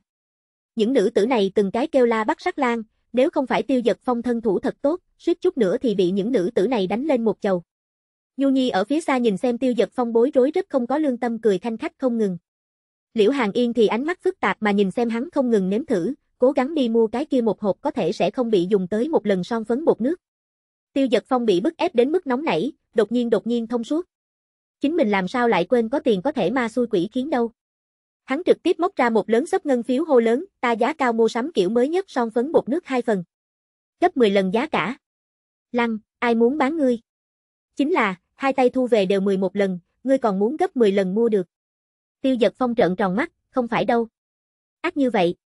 Hắn rõ ràng đánh giá thấp những này son phấn bột nước đối với mấy cái này nữ tử lực hấp dẫn, hắn quả quyết mở miệng nói, gấp trăm lần giá cả. Chen chúc đám người có một khắc an tĩnh lại, sau đó bắt đầu chảy ngược hướng tiêu giật phong, hắn mặt nạ đầu heo kia đều lộ ra như vậy hòa ái dễ gần. Những cái kia mua được nữ tử nhau nhau từng cái phóng tới hắn, giờ mua được son phấn bột nước nói, ta bán, ta bán. Những cái kia còn không có mua được thì tiếc núi không thôi, tiêu giật phong bị từng cái nữ tử trùng điệp vây quanh, chen ở giữa kém chút đi ra không được. Tránh ra điểm, chớ đẩy ta. Cho ăn, đại thẩm, đừng bắt loạn a. Mua ta, mua ta. Mua mua mua, ngươi trước buông tay. Ai sờ ta cái rắm, cổ. Mua ta, ta có thể tiện nghi một chút. Đều mua đều mua, từng bước từng bước đến. Các ngươi quá mức, đừng dắt ta quần áo a. Kéo ta mặt nạ làm gì? U, nguyên lai bộ dạng như thế Tuấn a. Nói sớm đi. Làm gì? Ta mua đồ, không bán thân. A. Làm sao cảm giác đột nhiên lạnh như vậy? Lạnh quá a, chuyện gì xảy ra? Cuối cùng Tiêu Giật Phong lấy gấp trăm lần giá tiền mua mười mấy phần son phấn bột nước, không phải vậy hắn sợ chính mình đi ra không được. Thật vất vả giết ra tới Tiêu Giật Phong không khỏi xoa xoa mồ hôi lạnh trên đầu, những này quần tình mãnh liệt, thấy tiền sáng mắt nữ tử trung niên cũng quá hung tàn. Những nữ tử này ngay cả mặt nạ của hắn đều kéo sai lệch, dọa đến hắn quá sức. Bất quá vừa mới có vẻ giống như có người thừa dịp loạn tại lau chính mình dầu đâu. Nhất định là ảo giác đi. Hắn hướng trên thân xem xét, pháp y này đều kém chút bị những này điên cuồng bác gái cho xé nát, trên thân còn có mấy cái mang son phấn ấn dấu ngón tay. Vừa xem xét này chính là vừa mới thử son phấn sắc sau đó lại đang trên người mình bắt loạn nữ tử lưu lại, cũng không biết là nữ tử nào như vậy phát rồ. Hắn nhìn về phía nơi xa, cái kia hai cái kẻ cầm đầu đang đứng tại một cây cầu bên trên nắm phong cảnh. Nhu Nhi trong miệng còn ăn cái kẹo hồ lô, hướng hắn nhanh chóng ngoắt. Mà Liễu Hàng Yên nhìn xem mặt sông, phản phất thờ ơ bình thường. Tự hồ vừa mới lặng lẽ giáo huấn mấy cái kia thừa cơ chiếm tiêu giật phong tiện nghi nữ tử người không phải nàng một dạng. Tiêu giật phong nhìn xem Nhu Nhi cái kia trò đồ quái đảng dáng tươi cười, nhịn không được thầm nghĩ chính mình có phải hay không trước né trước. Ai biết hai cái này cô nải nải sẽ còn như thế chỉnh mình. Bất quá nghĩ đến tránh được mùng 1, không tránh được 15, hắn hay là đàng hoàng đi về phía trước. Các loại dính một thân mùi son phấn tiêu giật phong có chút chật vật đi trở về trước mặt hai người, Nhu Nhi cười đến nhánh hoa rung rẩy. Tiêu giật phong cố ý giữ lại cái này một thân chật vật, cái này bán đáng thương sáo lộ tại Nhu Nhi người trong nghề này trước mặt tự nhiên là không thể thực hiện được. Nhu Nhi nháy nháy mắt hỏi, Phong ca ca, tại song phấn trong đống lăn lộn cảm giác thế nào? Có phải hay không vui đến quên cả trời đất? Tiêu giật phong che mặt bất đắc dĩ nói, nghĩ lại mà kinh. Nhu Nhi ngươi thì khỏi nói. Liễu Hàng Yên ngược lại là nhìn tiêu giật phong bộ dáng như thế có chút đau lòng, gia hỏa này dù sao cũng là thiên chi kiêu tử, đã từng một đời ma quân. Đoán chừng hắn cũng là lần thứ nhất chật vật như thế cùng một đám chợ búa phụ nữ giật đồ đi. Nàng thản nhiên nói, đã như vậy, trước dạo chơi trước đi. Nhu Nhi thấy thế che miệng cười trộn, tỷ tỷ hay là nói năng chua ngoa nhưng tấm lòng như đậu hũ. Chẳng phải bị mấy cái bác gái khai du sao? Bao lớn sự tình. Nàng nhìn xem dưới cầu mặt các loại đèn sáng thuyền hoa, hưng phấn nói, nếu không, chúng ta đi thừa thuyền hoa đi. Tiêu giật phong âm thầm cân nhắc, cái này du lịch thuyền hoa các nàng tối thiểu cả không ra nhiều như vậy yêu thiêu thân đi. Liễu Hàng Yên không biết nhớ ra cái gì đó, cũng gật đầu đồng ý nói, vậy liền du thuyền đi. Tiêu giật phong như trút được gánh nặng, lập tức chạy tới hỏi thăm dân bản xứ như thế nào mới có thể thuê bên trên những thuyền hoa này. Cũng may đó cũng không phải cái gì đặc biệt bí mật, rất nhanh hắn liền được đáp án. Tiêu giật phong ba người đi tới một chỗ bỏ rộng rãi bến tàu chỗ, nơi đây có không ít thuyền hoa đèn sáng cập bờ, chờ đợi du khách. Nhu Nhi khuôn mặt nhỏ hơi có vẻ kích động nhìn xem những thuyền hoa này, cười nói ta còn không có dựng qua phàm tục thuyền đâu. Tiêu Giật Phong bỏ ra giá tiền không rẻ thuê một chiếc thuyền hoa, loại thuyền này chỉ không nhỏ, cùng thuyền hàng nhỏ có thể liều một trận. Bọn hắn mướn chính là một chiếc hai tầng lâu thuyền, phía trên treo màu vàng sáng đèn lồng, cả lầu thuyền xinh đẹp mà rộng lớn. Ba người leo lên lâu thuyền, đứng ở phía trên bông thuyền, tại chủ thuyền gào to bên dưới, thuyền hoa nhổ neo mở hướng trong sông. Chủ thuyền kia để người chèo thuyền đông đưa thuyền, cung kính đi lên dò hỏi, công tử, chúng ta đi đâu? Tiêu giật phong nhìn xem đầu thuyền hết nhìn đông tới nhìn tây nhu nhi, cười nói, chỗ nào náo nhiệt đi nơi nào đi. Chủ thuyền kia lên tiếng, liền xuống dưới phân phó người chèo thuyền bọn họ đi. Hôm nay nước nơi nào tại dòng nước nhẹ nhàng khúc sông, bằng không thì cũng sẽ không phát triển thành bây giờ quy mô. Vào đêm về sau dòng sông tức thì bị các loại biện pháp ngăn cản, dòng nước nhẹ nhàng, tốc độ chảy cũng không nhanh. Thuyền hoa thuận dòng sông bay xuống, tại từng tòa cầu nối bên dưới chậm rãi xẹt qua, náo nhiệt phồn hoa trong thành phong cảnh nhìn một cái không sót gì. Canh ba Chương 867, ngươi rất hiểu A không ít đi những địa phương này A. Tiêu giật phong ba người dọc theo sông xuống, dọc theo con đường này chỉ gặp trên cầu ngựa xe như nước, hai bên bờ tiếng người huyên náo. Trên sông đều là đủ loại màu sắc hình dạng thuyền hoa, các loại vui đùa ầm ĩ âm thanh bên tai không dứt, càng có tài hơn con gia nhân ngâm thi tác đối, phi thường náo nhiệt. Hai bên bờ lửa đèn như ban ngày, phản chiếu tại sóng gợn lăn tăng trong nước sông, lộng lẫy. Dọc theo sông có không ít tử lâu cửa hàng gặp nước xây lên, phía trên càng có từng cái bến tàu nhỏ, có thể lâm thời trên dưới. Không ít trên thuyền hoa buông xuống thuyền nhỏ, lại từ thuyền nhỏ vạch đến bên bờ, ở nơi đó mua sắm đồ vật hoặc là lâm thời trên dưới khách nhân. Từng chiếc thuyền nhỏ tới lui trong đó, như là linh hoạt cá con xuyên thẳng qua không ngừng, nên đón mang đến. Nhu Nhi tươi mới khắp nơi hết nhìn đông tới nhìn tây, chạy tới chạy lui, cùng cái tiểu nữ hài một dạng. Hai người bọn họ ăn mặc kín, cũng là không cần lo lắng có lộ hàng khả năng. Dù là như vậy, Liễu Hàng Yên hay là lặng yên cho thuyền thực hiện một tầng che chắn tầm mắt mê vụ. Nhu Nhi hưng phấn lôi kéo Liễu Hàng Yên cùng Tiêu Dật Phong hai người, hỏi thăm hai bên bờ một chút cửa hàng là làm cái gì. Tiêu Dật Phong thì từng cái cho cái này trốn trong xó ít ra ngoài nha đầu giảng giải các loại cửa hàng gió êm dịu tục thói quen. Nhu Nhi nghe được tập trung tinh thần, nhìn cái gì đều mới lạ. Tiêu Dật Phong cùng Liễu Hàng Yên xem như có chút minh bạch Nhu Nhi vì cái gì như vậy khát vọng rời đi xích tiêu dậy. Nàng mặc dù sống mấy trăm năm, nhưng lại chân không bước ra khỏi nhà, một mực vây ở xích tiêu dậy cái kia nho nhỏ trong đại điện. Tô Diệu tình tại vô nhai điện chờ đợi vài chục năm đều đã im lìm đến phát hoảng, huống chi nàng ngây người mấy trăm năm. Chủ thuyền thân mật ở trên bông thuyền mang lên cái bàn, phía trên bày chút đưa tặng hoa quả cùng rượu ngon.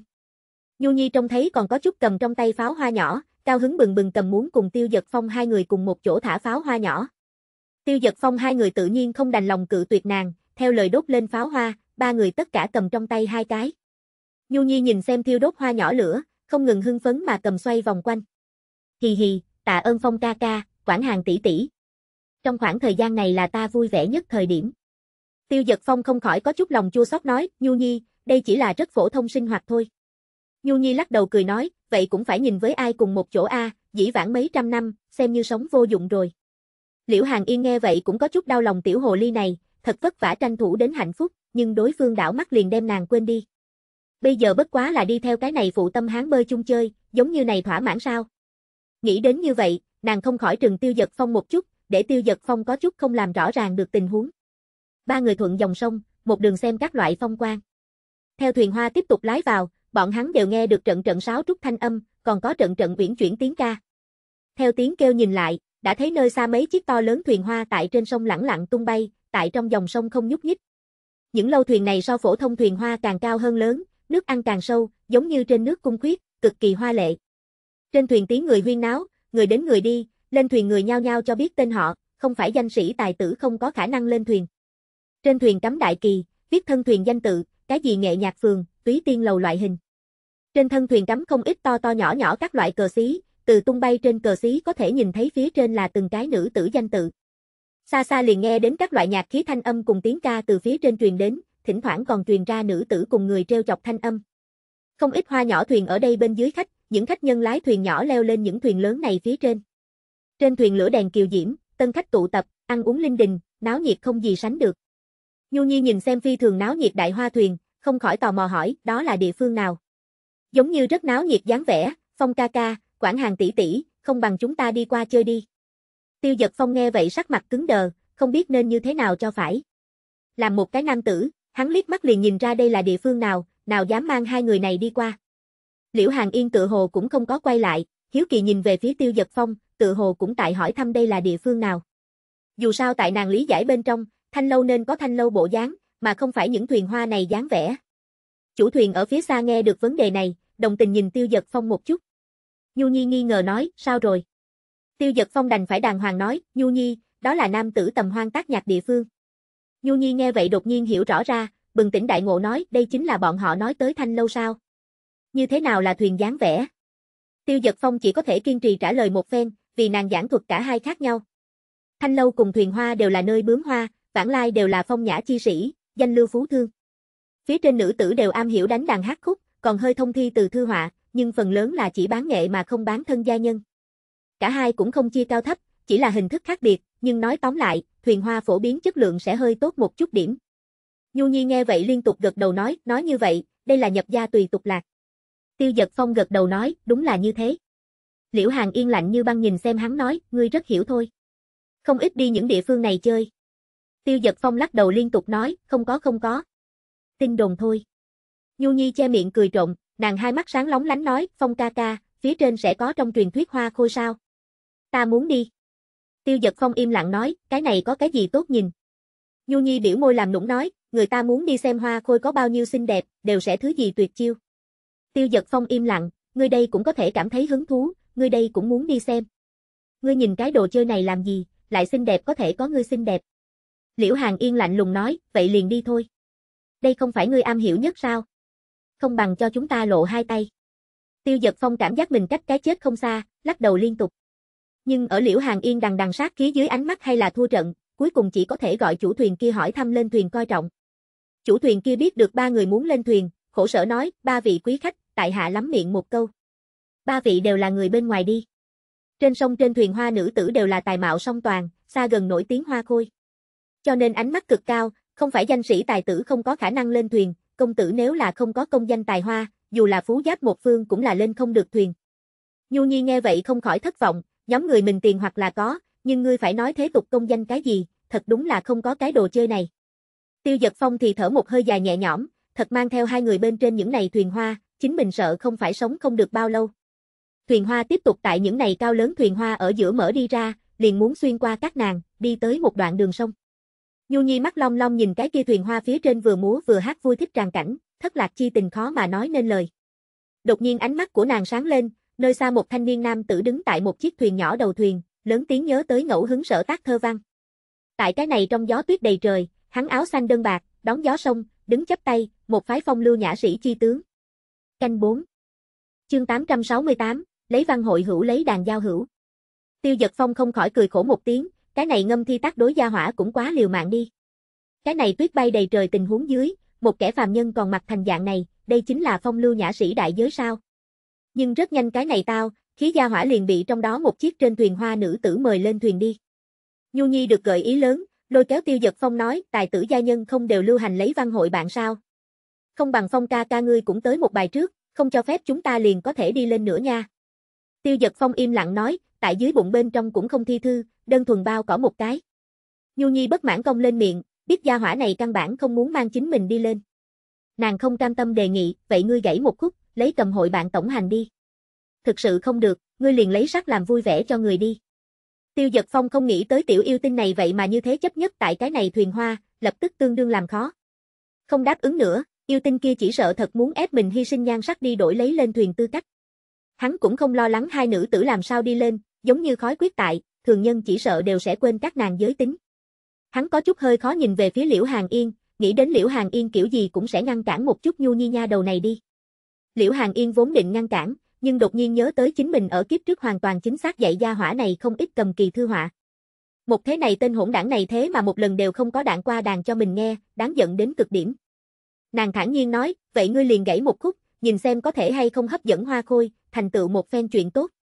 Tiêu giật phong trợn tròn mắt, chính mình đây là muốn khổng tức xuề đuôi bình thường huyễn kỹ phải không? Nhưng liễu hàng yên có lệnh, hắn lại không dám không theo, đành phải từ chối, trên tay của ta không có vừa tay hảo cầm. Kết quả liễu hàng yên vung tay lên, trên bàn thêm ra một thanh màu sắc cổ xưa thơm ngát cổ cầm đến. Nhu Nhi cũng đưa ra một cái xanh biết sáo ngọc, cười tủm tỉm nói, ngươi muốn cái gì nhạc khí, ta đều có. Tiêu giật phong thầm nghĩ thất sách, chính mình làm sao lại quên đi hai tên này trên người nhạc khí có thể nhiều nữa đâu. Hắn gặp thực sự không có cách nào, chỉ có thể tọa hạ, nhẹ nhàng gọi mấy lần cổ cầm, thử một chút âm. Nhu Nhi cùng Liễu Hàng Yên thì đứng tại phía sau hắn, hơi mong đợi nhìn xem hắn. Nhu Nhi nắm quả đấm nhỏ nói, Phong ca ca, trông cậy vào ngươi. Tiêu Giật Phong ổn định lại tâm thần, hít sâu một hơi, đã lâu kích thích dây đàn. Hắn cũng không am hiểu những này, thuần túy là Liễu Hàng Yên dẫn hắn nhập môn, sau đó bị sư nương nhiều năm dạy bảo. Hắn mặc dù tạo nghệ cũng không như Liễu Hàng Yên các loại chìm đắm mấy trăm năm mọi người, nhưng so với những này trong thế tục phàm trần người mà nói đã là đăng phong tạo cực. Róc rách cầm âm tại đầu ngón tay hắn đổ xuống mà ra, khi thì cao vút sụp sôi, giống nước biển vuốt bờ biển, khi thì uyển chuyển trầm thấp, giống tình nhân ở giữa thấp giọng thì thầm. Sâu kính tiếng đàn như là chậm chậm luồng gió mát thổi qua xanh biếc rừng trúc, tại đây vốn là ồn ào náo động trên sông phút chốc vang lên, sau đó cấp tốc truyền ra. Giờ phút này chính là nguyệt kiểu ba trừng, mọi người tâm thần thanh thản thời khắc, bên tai đột nhiên truyền đến từng sợi tiếng đàn, tiếng đàn hốt khởi hốt phục, để cho người ta nhịn không được nghiêng tai lắng nghe.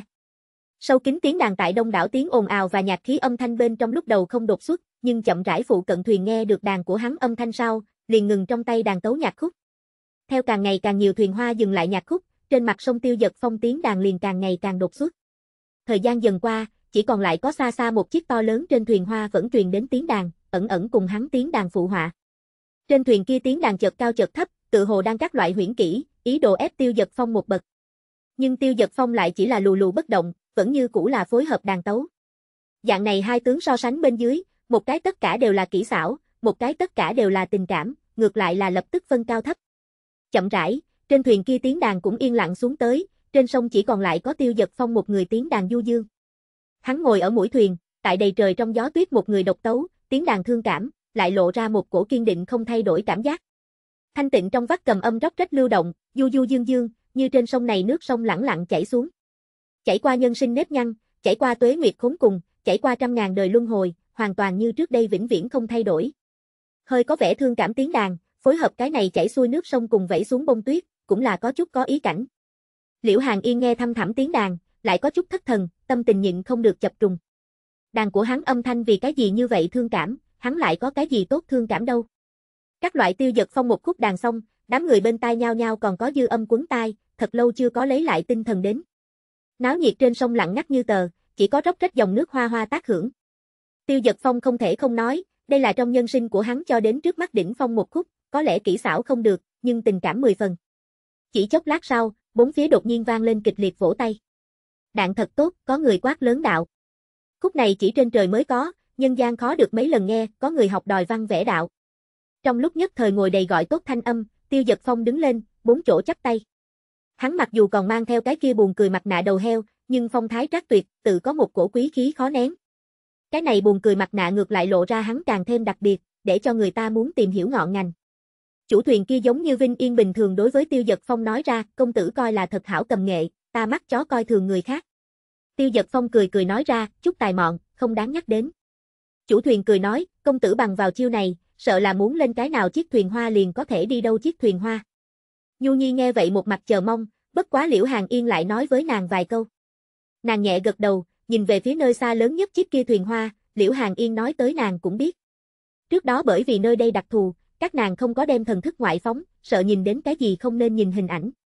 Nhưng vừa mới cái kia cùng tiêu giật phong đấu kỹ cầm âm truyền lại chỗ, lại bị các nàng phát hiện là phía trên có tu tiên giả. Không nói những cái khác, liền cùng tiêu giật phong hợp tấu người kia, chính là một tu tiên giả. Huống chi trên thuyền kia còn có một cổ ẩn nấp chi pháp, phản phất sợ người phàm tục biết bình thường. Chiếc này hoa nhỏ thuyền tiếp tục hướng phía trước vạch tới, quả nhiên như chủ thuyền kia lời nói, cũng không lâu lắm liền có người đặc biệt đưa tới thiếp mời. Chỉ chốc lát sau, liền có mấy chiếc thuyền hoa đều đưa tới thiếp mời, để Tiêu dật Phong tiến đến một lần. Tiêu dật Phong nhìn một chút Nhu Nhi, Nhu Nhi thì tại trong tay chọn chọn lựa lựa, cân nhắc chính mình đi đâu cái thuyền hoa chơi. Nhưng nàng chưa kịp suy nghĩ kỹ càng, một chiếc thuyền nhỏ chở hai nữ tử liền hướng bọn hắn lái tới. Chủ thuyền cười nói, công tử có phúc lớn, là có hoa khôi thưởng thức công tử, tự mình đến mời. Tiêu giật phong xa xa nhìn xem rõ ràng, đó là một cái thân mặc áo trắng, người khoác bạch hồ áo choàng nữ tử đứng ở đầu thuyền. Nữ tử dung nhan dịu dàng, hóa thành đồ trang sức trang nhã, nhìn qua chính là một trọn vẹn đọc thi thư tiểu thư khuê các bộ dáng. Đi theo phía sau cái người mặc áo lục nha hoàng. Tiêu giật phong quay người nhìn về phía Nhu Nhi, đã thấy nàng hơi có vẻ bất mãn nói, không đi. Chương 869, Thính phong các thuyền hoa hiên trúc cùng Vũ Huyên. Nhu Nhi vẫn muốn bên trên thuyền hoa nhìn hoa khôi, bây giờ có hoa khôi tới mời lại không đi. Cái này đột nhiên chuyển biến để tiêu giật phong có chút không nghĩ ra, nhưng hắn rất nhanh liền tỉnh ngộ lại. Nữ tử này mặc trên người bạch hồ áo choàng để nha đầu này bất mãn. Nàng mặc dù gần nhất mới biến thành hồ tộc một thành viên, nhưng dù sao cũng là chủng tộc của mình, hay là không thích người khác săn giết. Nhu Nhi bất mãn còn có một chút, nữ tử này quá chủ động, đối với mình có uy hiếp bờ. Khi hoa khôi kia thuyền nhỏ tới gần, tiêu giật phong để chủ thuyền mời trên đó thuyền, cùng đối phương khách khí đàm tiếu một phen. Cuối cùng mới biểu thị chính mình chỉ là ngứa tay gãy một khúc, mà lại lòng có sở thuộc, cảm ơn cô nương lọc mắt xanh. Hoa khôi bị tiêu giật phong nói khéo từ chối, trong lòng có chút thất lạc, trên mặt nhưng không có biểu hiện ra ngoài. Nha hoàng lại là một mặt không vui, thầm nghĩ người này không biết tốt xấu, vậy mà không để ý tới hoa khôi mời. Nhu Nhi nha đầu này chơi cao hứng đến, đột nhiên dời mặt nạ hồ ly kia, sông hoa khôi kia nở nụ cười xinh đẹp. Hoa khôi kia cùng nha hoàng trong nháy mắt như bị sét đánh, hơn nửa ngày không có thông thả lại sức. Cuối cùng dở khóc dở cười, trách không được đối phương đối với mình nhìn như không thấy, nguyên lai bên người đi theo như thế hai người ở giữa tuyệt sắc. Mặc dù Liễu Hàng Yên không có dời đi mặt nạ, nhưng có thể cùng đối phương đánh đồng, chắc hẳn không kém đi đâu. Tiêu Giật Phong cũng không có để hoa khôi này khó xử, để chủ thuyền cầm ngân phiếu đi theo đối phương tiến đến. Chủ thuyền là cái người cơ linh, cùng hoa khôi kia đến đối phương trên thuyền, nói nhà mình công tử ước hẹn, lại không đành lòng cô phụ mỹ nhân tâm ý. Công tử cố ý để hắn đến đây là hoa khôi mua sắm hoa phiếu, lấy đó lòng biết ơn.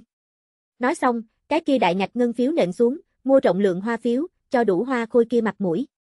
Chủ thuyền một mặt kích động trở về, loại này vung tiền như rác cảm giác là thật thoải mái, chỉ cảm thấy lần có mặt mũi, giống như vinh yên. Nhìn hoa khôi kia kích động bộ dáng, cái này có tiền lại có tài công tử nếu thật muốn cùng nàng phát sinh chút gì hoa tiền nguyệt hạ sự tình, sợ là dễ như trở bàn tay. Chủ thuyền không khỏi thầm than, dễ như trở bàn tay người sẽ không trân quý, chính mình mong mà không được lại không tư cách a. Nhu Nhi trắng tiêu giật phong một cái nói, phong ca ca việc này làm được rất nhuần nhuyễn a. Không ít đi đi.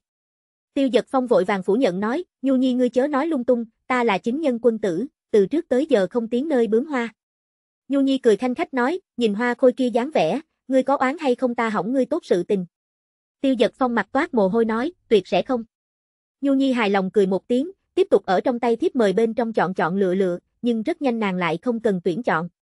Một chiếc thuyền con nhanh chóng lái tới, phía trên chỉ đứng một cái nữ tử áo xanh, lại linh hoạt đến cùng giống như cá bơi. Chủ thuyền bị tình cảnh kỳ lạ này kinh đến, một mặt ngạc nhiên nói, cái này chẳng lẽ tiên nhân. Trong nháy mắt, nữ tử áo xanh kia đi vào trước mắt, cung kính nói, nhà ta hiên trúc tiểu thư xin mời công tử lên thuyền một lần. Tiêu giật phong nghĩ nghĩ, dò hỏi, tiểu thư nhà ngươi đến từ phương nào? Tiểu thư nhà ta đến từ thính phong các, nữ tử áo xanh kia trả lời. Tiêu giật phong nghe vậy nhớ tới cái này tu tiên giới thanh danh hiển hách phong nguyệt tổ chức, lúc này hỏi thăm Nhu Nhi muốn hay không đi. Nhu Nhi hướng hắn hỏi vài câu, biết được là tu tiên giới phong nguyệt tổ chức, càng là nhãn tình sáng lên, liên thanh nói muốn đi. Nàng nói muốn đi, Liễu Hàng Yên tự nhiên không có khả năng có cái gì ý phản đối, cũng đồng ý. Tiêu Giật Phong lúc này xin mời nữ tử áo xanh kia đi lên, để chủ thuyền lái thuyền tới gần chiếc kia khí phái dị thường thuyền lớn. Chủ thuyền nghe chút liền biết người ở phía trên là không tầm thường nhân vật, hạ lệnh lái thuyền tới gần. Các loại tới gần chiếc thuyền lớn kia về sau, bọn hắn đều thấy được phía trên trên tấm bảng thật to thính phong các ba chữ. Mà mỗi tàu cũng cùng mặt khác thuyền hoa một dạng, cắm hai cột cờ lớn, đón gió tung bay. Một cây viết hiên trúc, mặt khác một cây viết vũ huyên, cái này khiến tiêu giật phong lộc bột một tiếng. Trên chiếc thuyền lớn kia buông xuống thuyền ván cầu gác ở hai chiếc thuyền ở giữa, thờ tiêu giật phong bọn người đi lên. Tiêu giật phong tại đạp vào thuyền này trước đó đem tiền tài đều cho đủ cho chủ thuyền, để bọn hắn đi đầu trở về, nhóm người mình tự có biện pháp trở về. Mấy người thuận thuyền ván cầu đi lên chiếc thuyền lớn kia, chủ thuyền theo lời thối lui. Thuyền hoa rời đi thuyền lớn sau, hắn nhìn lại chiếc thuyền lớn kia, lại phát hiện giống đang ở trong sương mù, nhìn không rõ ràng. Hắn kiến thức rộng rãi, lập tức biết mình là gặp gỡ cao nhân, âm thầm may mắn không có đắc tội có chỗ tiếp đón không được chu đáo. Tiêu giật phong ba người đạp vào thuyền lớn, trên thuyền có mấy cái nam nam nữ nữ, đều là người trong tu đạo. Trong đó có người nhiệt tình tiến lên đón hành lễ nói, đạo hữu hữu lễ, tại hạ thiên đao môn tống thiếu, không nghĩ tới ở đây còn có thể ngẫu nhiên gặp ba vị đạo hữu. Cái này tống khuyết chừng 30 tuổi, lưu lại điểm râu quai nón, nhìn qua như cái hào sản giang hồ hiệp khách bộ dáng. Tiêu giật phong chấp tay nói ra, không nghĩ tới là thiên đao cửa tống đạo hữu, tại hạ tiêu phong, tiểu môn tiểu phái người, cũng là ngẫu nhiên du ngoạn đến tận đây. Hắn chỉ chỉ Liễu Hàng Yên cùng Nhu Nhi giới thiệu nói, hai vị này là của ta hảo hữu. Liễu Hàng Yên cùng Nhu Nhi cũng chỉ là khẽ gật đầu, không nói thêm gì. Các nàng còn thi triển như khói quyết, giữa sân đám người thực lực đều so với các nàng thấp, lực chú ý tập trung không đến trên người bọn họ, cũng không có quá mức để ý tới. Tiêu giật phong ba người đều chỉ cho thấy khiếu cảnh tu vi, không có quá mức đột xuất, cũng sẽ không bị người kinh thị. Hắn không có cho thấy nhóm người mình thân phận chân thật, dù sao mặc dù số mệnh không đuổi giết hắn, nhưng người muốn giết hắn cũng không ít. Trên thuyền còn có một cái khác giữ lại hai phiết râu cá trê nam tử tiến lên hành lễ nói, tiêu tương kiếm phái mạnh hạo kỳ, gặp qua tiêu đạo hữu cùng hai vị tiên tử.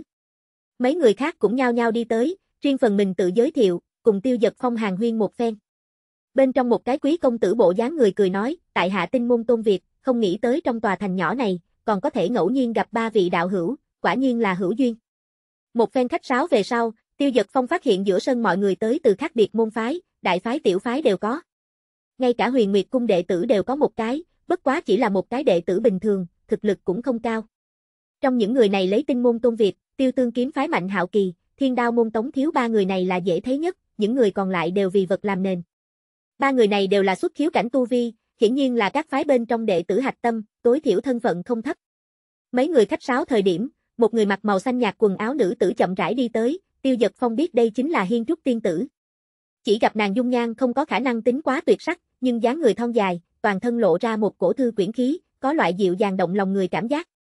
Hiên Trúc có chút thi lễ nói, thính phong các Hiên Trúc gặp qua tiêu công tử, tiêu công tử cầm nghệ cao siêu, để Hiên Trúc mở rộng tầm mắt. Tiêu giật phong biết đối phương chính là vừa rồi đánh đàn người, chỉ là khách khí nói, múa rìu trước cửa lỗ ban, để Hiên Trúc tiên tử chê cười. Cái kia Hiên Trúc cười nói, tiêu công tử nói như thế, coi như để Hiên Trúc xấu hổ. Vừa mới vũ huyên muội muội nhưng đánh thú ta nữa nha. Lâu thuyền lầu hai lan can chỗ, một cái nữ tử áo tím cười nói, dù sao tỷ tỷ thế nhưng là cầm nghệ nhất tuyệt, khó được gặp được có thể ép tỷ tỷ một bậc người đâu. Canh 2 Chương 870, thay đổi thời tiết yêu nghiệt. Cái kia dung mạo xuất chúng nữ tử nhẹ nhàng nhảy lên, như bay phất phơ bình thường mang theo từng đợt làn gió thơm từ lầu hai bồng bềnh hạ xuống. Nàng ở giữa không trung ung dung xoay tròn một vòng sau chậm rãi đứng tại Tiêu Giật Phong trước mặt thuận thế thi lễ, ưu nhã mà động người. Nữ tử kia dáng người nhỏ nhắn xinh xắn lại linh lung tinh tế, mị hoặc bên trong lại dẫn một chút non nớt cảm giác, phản phất nhà bên dí dỏm thiếu nữ bình thường. Nàng khẽ mỉm cười nói, thính phong các Vũ Huyên gặp qua tiêu công tử. Vũ Huyên cười nhẹ nhàng ngẩng lên đầu, đã thấy đối phương mang theo cái mặt nạ đầu heo, ánh mắt có chút cổ quái nhìn xem chính mình. Nàng nhíu mày một cái nói, công tử cực kỳ quen mặt, người ta thế nhưng là ở nơi nào gặp qua. Tiêu giật phong cười khổ một tiếng đem mặt nạ đầu heo gỡ xuống, lộ ra chân dung, chắp tay hành lễ nói, Vũ Huyên tiên tử, đã lâu không gặp. Vũ Huyên trừng to mắt kinh ngạc nói, tại sao là ngươi? Gia hỏa này không phải huyền nguyệt tông người sao? Tại sao lại nói chính mình là tiểu môn tiểu phái người? Quả nhiên, nam nhân miệng, gạt người quỷ. Bất quá nàng vẫn là không có lựa chọn đâm thủng tiêu giật phong, dù sao lúc trước hắn thế nhưng là thanh đế thượng khách, nghĩ đến thân phận không thấp. Loại này chuyện đắc tội với người nàng không thể làm, bởi vì các nàng thính phong các nữ tử chuyện trọng yếu nhất chính là không thể đắc tội người. Hiên Trúc nghe vậy kỳ quái mà hỏi thăm, muội muội cùng Tiêu công tử nhận biết. Tiêu Giật Phong xấu hổ cười nói, ta cùng Vũ Huyên tiên tử gặp qua hai lần, xem như nhận biết đi, cũng không biết tiên tử còn nhớ rõ ta không. Vũ Huyên hừ lạnh một tiếng, hiển nhiên đối với hắn thuyết pháp tương đương bất mãn, cười lạnh nói, Vũ Huyên làm sao lại quên Tiêu công tử đâu. Người ta có thể nhớ ngươi đây. Nàng lời này mặc dù mập mờ, nhưng ngữ khí bất thiện, rõ ràng còn tại ghi hận tại Bắc vực thanh đế thành xấu hổ gặp phải. Tiêu Giật Phong cũng có chút xấu hổ, dù sao lúc trước bởi vì hố cha đông đế, dẫn đến hắn xông lầm người ta khuê phòng, càng là mắt thấy người ta thay quần áo, kém chút bị đánh chết. Nhu Nhi cười tủm tỉm nhỏ giọng nói, nguyên lai chính nhân quân tử cũng có thể tùy tiện bên trên một chiếc thuyền hoa đều biết hoa khôi đó a, Phong ca ca coi là thật quen biết khắp thiên hạ đâu. Liễu Hàng Yên nhìn về phía Tiêu Dật Phong ánh mắt băng lãnh thấu xương, cười lạnh một tiếng. Chính nhân quân tử. Ta tin ngươi cái quỷ. Hai tên này tuyệt đối không chỉ ban đầu ở Thanh Đế Thành gặp qua một lần, không phải vậy mưa kia huyên không phải là thái độ này. Nàng không nói thêm gì, nhưng để tiêu giật phong trong lòng thật lạnh thật lạnh. Hiên Trúc gặp Vũ Huyên ngữ khí bất thiện, sợ Vũ Huyên lại nói ra thứ gì, vội vàng hòa giải nói. Tiêu công tử nếu cùng Vũ Huyên là quen biết cũ, cái kia quả nhiên là hữu duyên. Nàng đưa tay nói, mọi người chớ đứng ở chỗ này, không bằng nhập tọa lại nói như thế nào. Tống Khuyết cười ha ha một tiếng nói, trong lầu các chen chúc, đêm nay trăng sáng sao thưa, bông tuyết bay tán loạn, chính là nấu rượu thời điểm. Không bằng chúng ta ngay tại trên bông thuyền này nấu rượu đánh đàn một phen, cũng vẫn có thể xem là một cọc chuyện tốt, chư vị ý như thế nào? Mạnh hạo kỳ gật đầu cười nói, Tống sư huynh tốt đề nghị, hôm nay nước hà cảnh dùng không sai, ngược lại thật sự là thích hợp lộ thiên mà ngồi. Mấy người khác cũng nhao nhao phụ họa. Nếu chư vị có nhã hứng này, Hiên Trúc lại há có không phụng bồi chi lễ. Hiên Trúc cười nói. Lúc này nàng mệnh trên thuyền bọn thị nữ đi vào đem bàn đều cho dời ra ngoài, lại đang bong thuyền trải lên lộng lẫy chăn lông. Bàn bị đặc biệt làm thành một vòng, cả đám người khách sáo một phen sau nhau nhau ngồi xuống, lẫn nhau cũng không phân địa vị gì cao thấp. Tiêu giật phong nhập tọa sau, Nhu Nhi cùng Liễu Hàng Yên một trái một phải ngồi tại bên cạnh hắn, một bộ lấy hắn cầm đầu bộ dáng. Liễu Hàng Yên bên trái chính là Vũ Huyên, Nhu Nhi phía bên phải là tinh môn một nữ tử, tự hồ là Tôn Việt sư muội. Đám người ngồi xuống về sau, Hiên Trúc dẫn đầu bưng ly rượu lên nói, có thể cùng chư vị thanh niên tài tuấn ngồi chung một bộ, Hiên Trúc cùng Vũ Huyên muội muội kính chư vị một chén. Tống Khuyết cười ha ha một tiếng nói, có thể cùng thính phong các bác tiên tử bên trong hai vị ngồi chung một bộ, đã đủ để nói khoác một đoạn thời gian. Là chúng ta kính hai vị tiên tử mới đối. Đám người nhao nhao gật đầu nói phải, đem rượu trong chén uống một hơi cạn sạch. Hiên Trúc uống xong say rượu, sắc mặt đỏ lên, ánh mắt quyển chuyển nhìn về phía Tiêu Dật Phong hỏi, Tiêu công tử cũng là tới đây tìm kiếm thời tiết đột biến nguyên nhân sao? Tiêu Dật Phong nghe vậy kinh ngạc nói, thời tiết đột biến nguyên nhân. Mạnh Hạo Kỳ gật đầu nói, chúng ta trên đường đi qua nơi đây, đã thấy đột nhiên tuyết bay đầy trời. E sợ cho là yêu nghiệt gì ẩn hiện, làm hại nhân gian. Nhưng chúng ta một đường tìm tới, nhưng không thấy bất luận cái gì yêu nghiệt tung tích, quả nhiên là kỳ quái. Đạo hữu chẳng lẽ không phải vì vậy mà đến? Liễu Hàng Yên nghe vậy biết đối phương tìm chính là mình, có chút không phản bác được.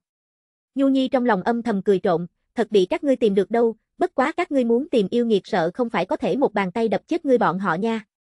Tiêu Dật Phong trong lòng im lặng, ngoài miệng lại bất động thanh sắc nói, tại hạ chỉ là trùng hợp đi ngang qua, đổ chưa từng lưu ý thời tiết này vấn đề. Mấy vị đạo hữu quả nhiên là hiệp can nghĩa đảm, nhiệt tình vì lợi ích chung, tại hạ bội phục. Tống Quyết nghe vậy mặt mo đỏ ửng, bọn hắn bất quá là muốn tại hai vị tiên tử trước mặt biểu hiện thôi, lại ở đâu là cái gì nghĩa bạc vân thiên. công Việt hiếu kỳ hỏi, không biết ba vị đạo hữu chuẩn bị đi hướng nơi nào. Tiêu Dật Phong cười nhạt nói, tại hạ cùng với hai vị hảo hữu đang muốn tiến về mặt nham thành đi tới một lần, không biết chư vị đâu. công Việt cười ha ha một tiếng, thản nhiên nói, chúng ta ngẫu nhiên gặp thính phong các hai vị tiên tử, dự định theo hai vị tiên tử cùng dạo một phen, cũng không mục đích gì. Mạnh Hạo Kỳ cũng gật đầu nói, dù sao ta lát nữa núi du lịch, nên đi khắp nơi đi, gặp chuyện bất bình, hàng yêu trừ ma. Tiêu giật phong tâm như gương sáng, nhưng ngoài miệng nhưng vẫn là lấy lòng mấy người bọn họ tiên phong đạo cốt, hiệp can nghĩa đảm. Tống Khuyết nghi hoặc hỏi, đạo hữu tiến về mặt nham thành cần làm chuyện gì? Tiêu giật phong cười cười nói, tại hạ nghe nói ma đạo tặc tử ở trên trời uyên thành có chỗ dị động, muốn đi mặt nham thành nhìn xem tình huống. Tại hạ mặc dù thực lực không đủ, cũng muốn đi tận một phần sức mọn, tránh cho bị ma đạo tặc tử thừa lúc vắng mà vào. Công việc lại cười khoát tay áo nói, tiêu huynh quá lo lắng, những cái kia ma đạo tặc tử cũng liền sấm to mưa nhỏ, hù dọa chúng ta thôi. Mạnh hạo kỳ cũng gật đầu nói, đúng là như thế, làm hại chúng ta mệt mỏi, kết quả lại là phô trương thanh thế một trận. Tiêu giật phong khẽ gật đầu nói, có lẽ vậy, hay là đi qua nhìn một chút tình huống như thế nào trước. Vũ Huyên gật đầu đồng ý nói, ma đạo xưa nay giảo hoạt, không thể không phòng. Tiêu giật phong nhưng trong lòng thầm than một tiếng, những này chính đạo đệ tử còn không bằng một cái phong nguyệt nữ tử có ý thức nguy cơ. Người trong chính đạo hòa bình quá lâu, dù là mặt nham thành ra một lần sự tình, vẫn là như thế buông lỏng cảnh giác. Từng cái còn say mê tại loại này ca vũ thăng bình trong cuộc sống, một khi tinh thần thánh điện đánh tới chỉ sợ không chịu nổi một kích đi. Kiếp trước chính mình là cơ hồ quét ngang nửa cái tinh môn, người trong chính đạo mới bắt đầu tổ chức đầy đủ lực lượng phản kích. Đoán chừng những đệ tử này đều cảm thấy tinh thần thánh điện bình tĩnh hơn ngàn năm, song phương nước giếng không phạm nước sông nhiều năm. Dù là ngẫu nhiên có ma sát, đó cũng là trạng thái bình thường, tinh thần thánh điện làm sao cũng không có khả năng trong khoảng thời gian này tiến đánh chính đạo mới là. Những đệ tử này ý nghĩ không phải cá nhân ý nghĩ, cơ hồ chính là toàn bộ người trong chính đạo ý nghĩ ảnh thu nhỏ. Hiên Trúc lại khẽ mỉm cười nói, Vũ Huyên muội muội quá lo lắng, có các vị đạo hữu tại, chỗ nào cần phải lo lắng những này. Tống quyết bọn người nhao nhao gật đầu, từng cái ngực đập đến vang động trời, tự hồ ma đạo tới liền muốn lên đi giết hắn cái không chừa mảnh giáp bình thường. Hiên Trúc ton hót bọn hắn vài câu, để bọn hắn có chút lân lân, ý cười đầy mặt. Nàng nhìn như bình thường nhìn xem tiêu giật phong hỏi, tiêu công tử thực lực cao thâm, lại không biết xuất từ môn gì phái gì. Canh ba